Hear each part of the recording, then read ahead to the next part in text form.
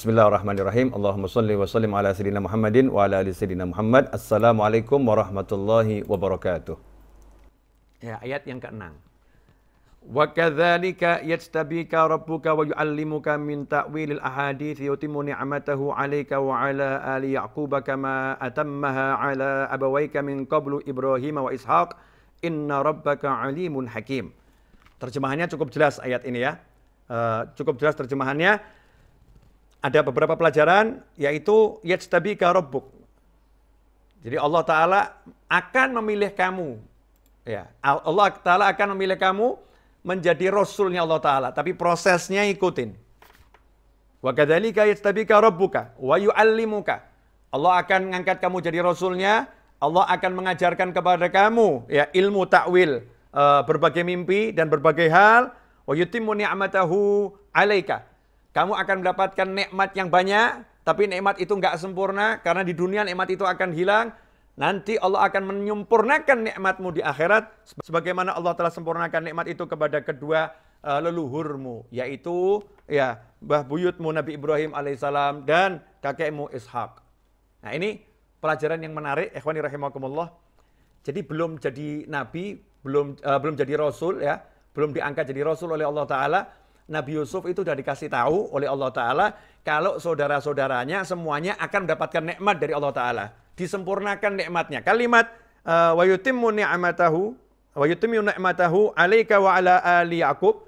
Nikmat yang sempurna itu hanya di akhirat, bukan di dunia. Jadi orang yang dijamin sama Allah disempurnakan nikmatnya artinya ahlul jannah. Artinya penghuni sur, surga. Bisa jadi sekarang jadi pejabat, jadi orang kaya, jadi orang yang tersohor, tapi dua hari kemudian jatuh jabatannya, jatuh namanya. Ya, bahkan mungkin bisa detian namanya jatuh. Tadinya hidup bebas, naudzubillah min. Tiba-tiba hidupnya menjadi tidak bebas seperti kita sekarang. Tadinya bebas ke mana-mana. Sekarang semuanya serba dibatasi oleh corona, saudara-saudara. oleh koro, corona. Tidak bisa. Nikmat di dunia ini oleh Allah Ta'ala dibuat memang seperti itu.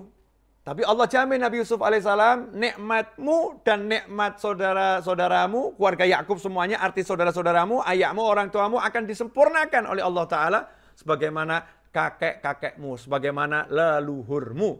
Ayat ini merupakan petunjuk bahwasanya saudara Nabi Yusuf alaihissalam orang-orang yang baik. Karena itu stop, jangan ngomong yang buruk tentang keluarga Nabi Yakub, Naudzubillah min dalik. Stop. Jangan berpikir yang buruk tentang saudara-saudara Nabi Yusuf alaihi wassalatu wassalam. Ikhwani rahimakumullah. Kemudian uh, ayat yang selanjutnya. Ayat 7. Laqad kana fi Yusufa wa ikhwatihi ayatun lisailin. Sesungguhnya dalam kisah Nabi Yusuf dan saudara-saudaranya ada ayat-ayat buat orang yang mau bertanya ayat-ayat buat orang yang ber bertanya. Apa maksudnya ayat? Ayat itu bisa jadi wahyunya Allah, itu ayat. Ya, ayat itu wahyunya Allah. Ayat itu bisa jadi tanda-tanda kebesarannya Allah. Tanda-tanda kebesarannya Allah itu juga juga ayat. Ya, ayat juga bisa jadi hikmah-hikmah. Ya, ilmu, ya, ilmu juga dikatakan ah, ayat. Maka dalam kisah Nabi Yusuf ini ada tanda kebesaran Allah, ya, wahyunya Allah dan ada ilmu yang luar biasa buat orang yang bertanya. Nah, orang yang bertanya saat itu di zaman Nabi Muhammad SAW adalah orang-orang Yahudi. Nah, ketika orang-orang Yahudi ini tanya tentang kisah Nabi Yusuf, kemudian dibacakan surat Yusuf, mereka pun masuk ke dalam agamanya Allah Subhanahu wa taala dan itu menjadi tanda-tanda kebesarannya Allah Subhanahu wa taala. Kemudian ayat yang ke-8. Kita lanjutkan ayat yang ke-8. Idz qalu La Yusufu wa akhuhu ahabbu ila abina minna wa nahnu usbatun inna abana lafi dhalalim mubin. Ayat yang ke-8, idqalu ketika kakak-kakak Nabi Yusuf selain adiknya Nabi Yusuf Bunyamin, tapi yang disebut di sini adalah kakak-kakak Nabi Yusuf dari ibu yang berbeda.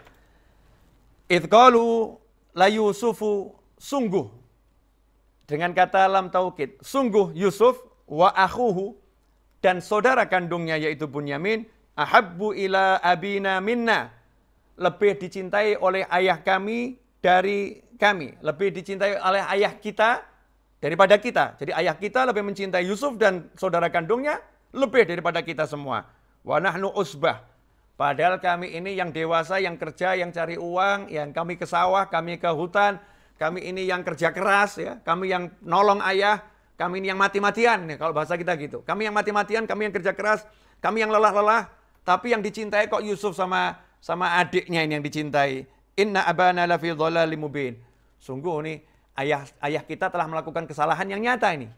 Ini dhalal di sini bukan berarti tersesat.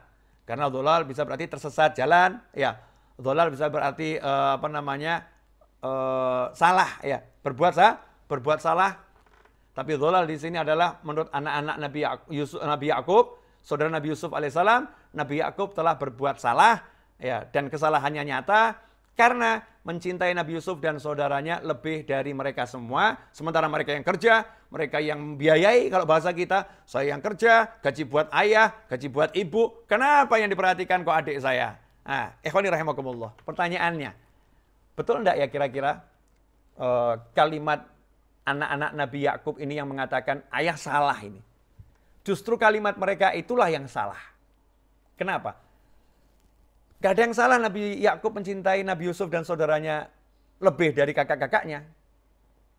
Gak salahnya di mana? Ya ini kalimat ini. Mereka sudah dewasa, mereka sudah bekerja, yang ini masih kecil. Jadi ya wajar toh kalau yang masih kecil itu dicintai, disayangi. Kalian udah dewasa.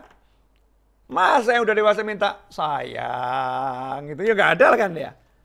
Kalau yang kecil dilus-lus sayang, oh anak mama digendong-gendong masih kecil, wajar. Kalau yang udah gedenya 2 meter, oh sayang digendong jatuh bareng. Iya, caranya nyayanginya berbeda.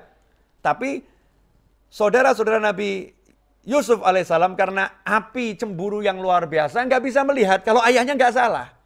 Ayahnya nggak salah, ayahnya benar. Ini kasih kecil, harus dicintai lebih. Yang kedua, Nabi uh, Yakub nggak bersalah alaihissalam adalah karena Nabi Yusuf ini yatim. Yatim itu dalam bahasa Arab ya orang yang kehilangan salah satu orang tuanya atau kedua orang tuanya. Kalau dalam bahasa Indonesia yatim orang kehilangan ayahnya kan begitu. Dalam bahasa Indonesia terjemahannya Nabi Yusuf ini piatu. Ibunya udah meninggal. Udah nggak punya ibu ini. Adiknya juga sama nggak punya ibu. Kalian masih punya aku ayahnya. Kalian masih punya ibunya. Nah, aku harus berikan kasih sayang yang lebih karena aku harus menjadi dua. Menjadi ayah sekaligus menjadi ibu. Menjadi ayah sekaligus menjadi ibu. Itulah yang dilakukan Nabi Yakub alaihissalam secara dohir. Jadi secara dohir Nabi Yakub pun adil. Ya secara zahir adil. Jangan kita katakan Nabi Yakub gak adil. Masa Nabi gak adil? Masa Nabi gak, gak adil? Jadi Nabi Yakub adil dan bijaksana. Tetapi anak-anaknya terlampau cinta. Nah itulah nasib saudara-saudara. Ya, seseorang kalau udah dicintai lebih, walaupun sudah e, menyayangi lebih, dianggap tetap belum sayang. Ini para pemirsa mungkin banyak suami-suami juga ya. Jadi kalau suaminya merasa kamu nggak mencintai aku ya, jangan bingung. Jangan bingung. Itu yang ngomong kamu nggak mencintai aku, berarti cinta banget tuh yang ngomong. Yang ngomong cinta banget. Iya, jadi nggak puas ya, nggak pernah bu puas. Makanya saudara Nabi Yusuf nggak puas sama ayahnya, kurang, kurang, kurang. Maka merasa Nabi Yusuf dan adiknya ini mengganggu, mengganggu untuk menikmati ayah, mengganggu untuk menikmati ayah. Jadi dari awal ini kisah cinta, ya kisah cinta yang luar luar biasa.